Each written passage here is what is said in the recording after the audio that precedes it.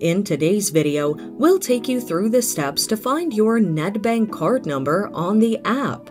Keep watching to learn how and so much more. Via the app. On your mobile device, tap on the Nedbank app to launch it. Enter your Nedbank ID, then key in your PIN to log in. On your account dashboard, select My Cards. From the cards displayed, choose the card you wish to view the details of. A card will be displayed on your screen with your card number hidden except the last four digits.